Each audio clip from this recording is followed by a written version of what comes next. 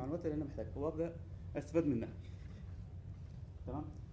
الموضوع ده وفر كتير جدا لذلك الدول كلها اهتمت بيه. تمام؟ فلما تيجي تبص على خريطه العالم تلاقي دول كتيرة جدا بقى إجباري فيها.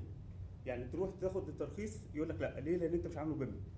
يعني طب ما أنا عامله كايد وعامله مخططات يقول لك لأ ال- البيم ليه مزايا كتيرة جدا؟ إحنا عايزين نستفاد منها. تمام؟ يعني هنلاقي مثلا في بريطانيا آه، في ابريل 2016 بقى إجباري. هنلاقي سنغافوره هنلاقي في, في دبي هنلاقي في إيطاليا في فرنسا في أمريكا في بعض الحاجات في ال- اليابان 2014 في كوريا في دول كومنولوث في هونج كونج في كوريا ال- ال- الجنوبية تمام؟ كل الدول دي بدأت تحس إن في فايدة لل BIM فإحنا عشان كده بدأنا نفكر إزاي ندعم ال BIM في الدول العربيه فبدأنا نعمل مجلة BIM Arabia تمام؟ بدأنا نعمل مجلة BIM Arabia دول ال team اللي شاركوا معانا في أول عدد. المهندس كمال شوقي من أول الناس اللي شاركوا معانا. آه، دكتور بلال من الناس المحترفة جدا في ال BIM وليه كتب ومراجع كتيرة جدا في ال BIM آه، مهندس ايمن قنديل مهندس محمد حماد مهندس سامر الجوهري آه، دكتور سامر السياري معاذ النجار الفريق شارك معانا مشاركة روعة من أول عدد. تمام؟ طيب إيه ال- المجلة؟ هو دلوقتي عشان ال BIM بيتكون لازم يبقى فيه كذا آه، مجموعة player بيشتغلوا في الموضوع دوت. في مجموعة اللي هي مجموعة ال technology اللي هي بتعمل software منها Autodesk والشركات الثانية بتعمل software أو بتعمل plugin في حاجات خاصة بال- بالشركات يعني الشركة نفسها هي اللي بتشتغل في الحاجات دي.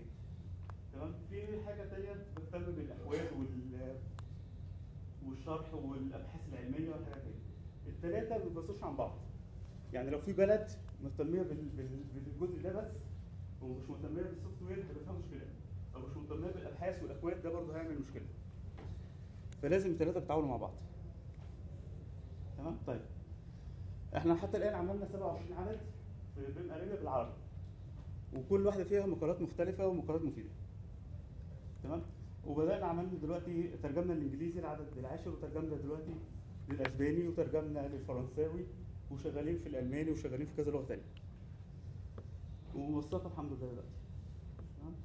طيب ده الموقع بتاع BIM Arabia إحنا هدفنا إيه؟ هدفنا الموضوع دوت مفيش هدف مادية حتى الآن مفيش أي حاجة خالص.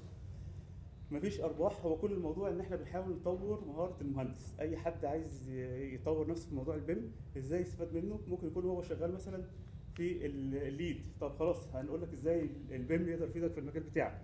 في إدارة المشروعات. إزاي هيفيدك في إدارة المشروعات؟ تمام؟ آه، الحمد لله دلوقتي معانا team كويس جدا بيكتب معانا كلهم دكاترة.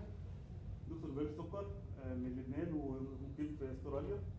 أسترالي دكتور رشوان داوود في بريطانيا. دكتورة نهى صليب في بريطانيا. دكتور هاني عمر دكتور سامي السياري محمد القاسم مهندس ياسر آه، حمزه مشرف دكتور محمد مشرف حمزة آه، مهندسة سونيا مهندس كمان شرف كل دول بيكتبوا معانا بحيث إن إحنا نقدم محتوى محترم لل- للعرب. آه، كل عدد بيبقى فيه مقالات ثابتة بنحاول كل مرة ناخد كيس ستادي بحيث إن إحنا ناخد مشروع حقيقي بنحاول إن إحنا نتكلم على الأكواد نحاول نشوف آخر أكواد آخر التطورات ونناقشها. آه، كل المقالات بيبقى لازم يكون فيها حاجة جديدة. آه، إحنا الحمد لله active على الشبكات الاجتماعية بحيث لو أي حد عنده أي سؤال أي حد بيعمل أي بحث بنساعده.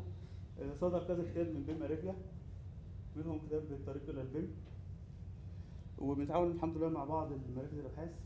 آه، ترجمنا قاموس ال BIM. كان في دكتور بلال سكر عامل قاموس كامل لل BIM. فترجمنا كل المصطلحات اللي فيه بحيث يبقى متفقين على الترجمة والمصطلحات. في مواضيع كتير ناقشناها زي البيم والبروجكت كنترول والبروجكت فيسنج والاوجمانتد رياليتي كل الحاجات دي ناقشناها. الحمد لله سجلناها في بريطانيا وبنسجلها حاليا في الاتحاد الأوروبي وبنحاول نخليها آه، موثقة.